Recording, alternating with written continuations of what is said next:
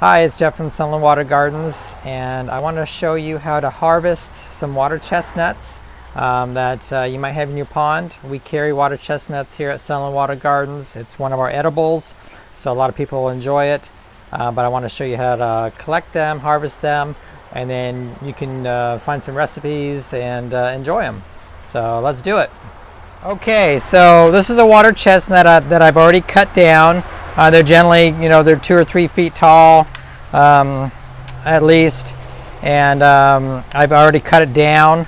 So what I'm going to do now is we're to take it out of the pot. So if it's a one or two gallon pot, just work the pot off of it. Sometimes the roots are pushing on it, so it's harder to get off. But you know, once you loosen the pot out, take it off, and this is what we got. This is the the the root system of the uh, water chestnut and as you can see it seems like anytime they're in a pot the water chestnuts they're towards the outer side of the plant like almost against the pot I find a lot of times. Sometimes they're in the middle but for these you can see here they just pop right off. They're they're connected by one little um, you know root or something but you just pop those right off and just start collecting them um, not too hard to do. They generally just pop right off.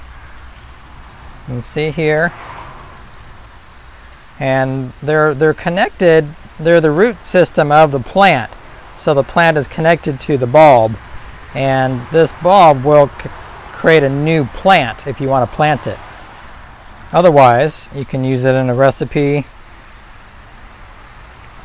But one plant, you can see, produces quite a few water chestnuts. And we just go along and try to collect them all. I usually collect everything on the outside first.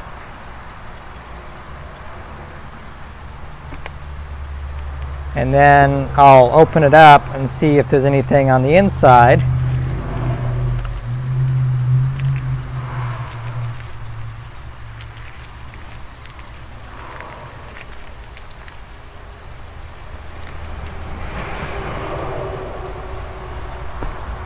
What I use is like a little sickle, little little knife to cut cut down the middle. I wouldn't uh, go too deep. You don't want to cut through any of the water chestnuts, but nice and shallow, and then use your fingers to kind of open it up.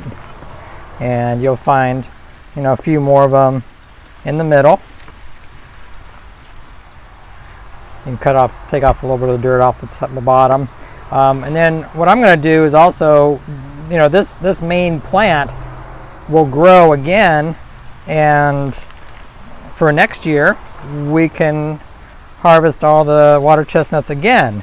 So and it's up to you if you want to just put this into a larger pot like a two a two gallon or make up multiple pots. And that's what I'm going to do I'm going to make up multiple pots of them. Um, so a lot of people like to buy one gallon sizes So just right off of one one gallon pot, we've collected one, two, three, four, five, six, seven, eight, nine, 10, 11, 12, 13, 14, 15, 16, 17 just in this pot. My last pot that I did, uh, I collected 21, the previous pot.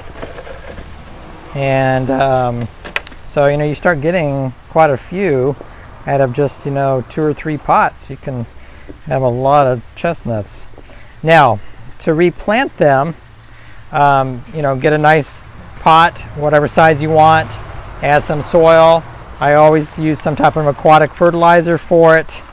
Um, and then obviously pack some new soil around it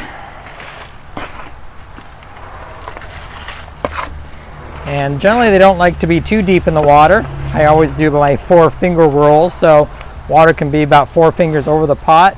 Um, you don't want to drown, drown it. So that's about the right depth for them. And then these will sprout back up. And next uh, season, you can do it all over again, collect them all. And it's a great way to uh, uh, have some edibles for your pond and and enjoy them. Hope that helps uh, kind of understand the water chestnuts a little bit and enjoy. All right, guys, I'll see you when you come in. Bye bye.